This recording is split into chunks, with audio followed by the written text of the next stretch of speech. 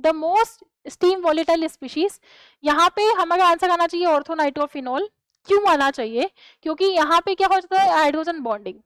Hydrogen bonding भी कौन सी होती है? इंट्रामोलिकुलर और इंट्रामोलिकुलर हाइड्रोजन बॉन्डिंग होने की वजह से ये क्या होता है? स्टीम वोलेटाइल होता है। ठीक है? स्टीम वोलेटाइल होता है। जबकि और कंपाउंड्स में नहीं होता, बी, सी, डी में नहीं होगा। क्योंकि यहाँ पे तो हाइड्रोजन बॉन्डिंग ही पॉसिबल नहीं है। Not possible.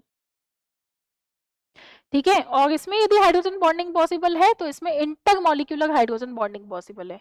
इंटर मॉलिक्यूलर की वजह से यहाँ पे स्टीम वोलेटाइल कंपाउंड बनेगा ही नहीं, ठीक है? तो इसलिए ये ऑप्शन भी हमारा एलिमिनेट हो जाता है। इंट्रा होनी चाहिए इंटर नहीं होनी चाहिए, ठीक है?